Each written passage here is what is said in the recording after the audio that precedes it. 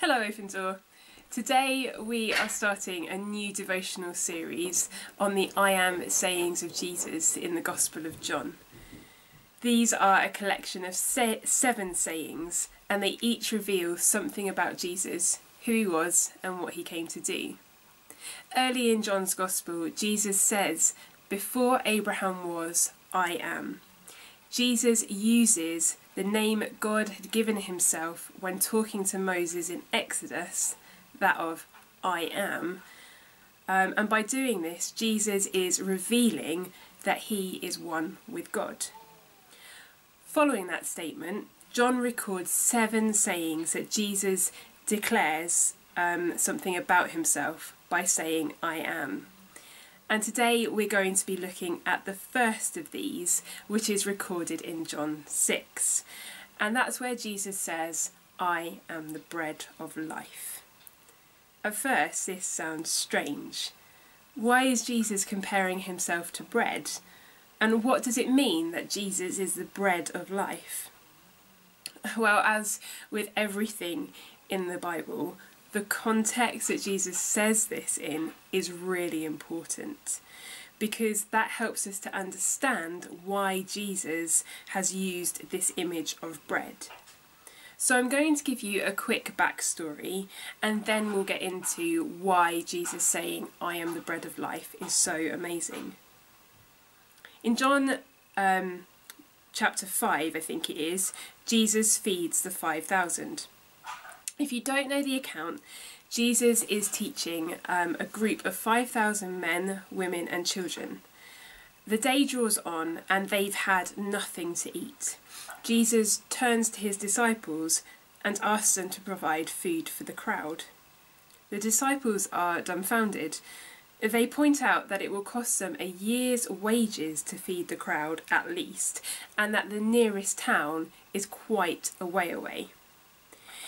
They tell Jesus his best option is to send the crowd home, but Jesus has other ideas. There's a small boy in the crowd that has five loaves and two fish. Jesus takes this food, gives thanks, and tells his disciples to distribute it among the crowd. I think that's pretty amazing that the disciples obey because, as far as we know, it still looked like they only had five loaves and two fish, and this was a crowd of 5,000 people. But obey they did, and miraculously, all 5,000 men, plus the women and children, were fed, and the disciples collected 12 baskets of broken pieces. The next day, the crowd that had um, been listening to Jesus the day before and had eaten the loaves and the fish um, go to find him. He turns to them and tells them that the reason they're seeking him is because they'd eaten their fill the day before. Jesus had provided for their physical needs. They were amazed and they wanted more of the same. But Jesus tells them that if they are looking if that's what they're looking for, then they've missed the point. The feeding of the 5,000 met an immediate physical need, but there was more to it than that. It was a sign that pointed to something greater. Jesus tells them that they can have eternal life if they believe in the one whom God had sent. Now we know that's Jesus, but they didn't get it.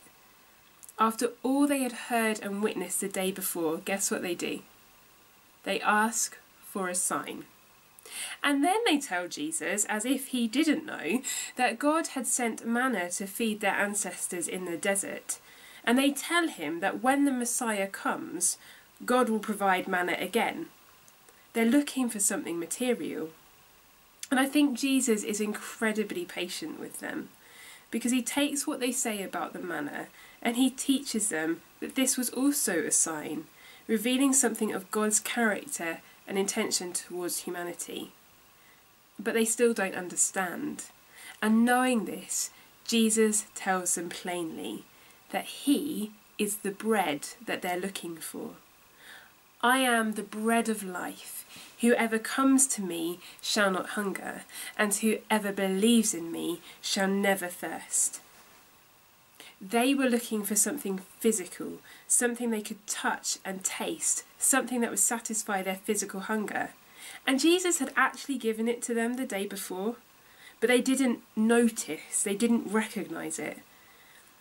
Um, and in coming to Jesus the next day and asking for basically the same thing, Jesus tells them they're looking in the wrong place. They're looking for the wrong thing. Material things can only satisfy to a certain extent. You have a meal, and that satisfies your hunger for a few hours, but soon you need something else to eat. Jesus declares, in saying, I'm the bread of life, that we need more than physical things to satisfy us.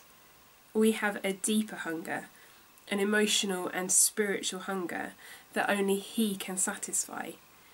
Elsewhere in the Bible it says, Man cannot live on bread alone, but by every word that comes from the mouth of God. Yet we turn to material things all the time, thinking they will make us happy, give us joy, remove the sadness that's in us. You can see that in the crowds of people queuing um, to access the shops that have opened, the clothing and the furniture shops. You can see it um, when we eat to distract ourselves from stress, worry, sadness, or when people seek sexual gratification or the praise of others um, when we post witty statuses on Facebook or cute pictures on Instagram. There are many ways we try to fill the hole inside of us that desires more, that desires to be loved, that desires joy and freedom from sadness, anxiety, shame, that desires to know that we are known, loved, and accepted. Jesus here speaks right to that need. He says, You came looking for me because I fed your physical hunger, and now you're hungry again. But it's not physical bread that you need. You'll always end up feeling empty if you look to the material things to fill your lack. You need something that will satisfy you for eternity. That something is a person, and that person is me because I am the bread of life. I will nourish you, I will satisfy you, I will give you joy. You can cast all your burdens on me. You can know freedom from fear, guilt, shame, and worry. You can know that you are deeply loved, forgiven, and accepted. I meet and fill the deepest desires of the human heart. Believe in me, and I will fill that hole inside of you eternally. This is such good news for the world. People are constantly looking for things to fill the void. But as Christians, we also need to be reminded of this because it is so easy to get caught up in our consumerist culture and reduce what Jesus offers to merely providing for our material needs that misses the mark totally. We need to remind ourselves that Jesus is the one who promises to fill our lives abundantly with his presence, his peace, his joy, his forgiveness, his love. It is so much more than material riches. It's about filling our deepest desire to know and be known by the Father. In declaring, I am the bread of life, Whoever comes to me shall not hunger, and whoever believes in me shall not thirst. Jesus is saying that He is the only one who can fill our deepest and most basic longings.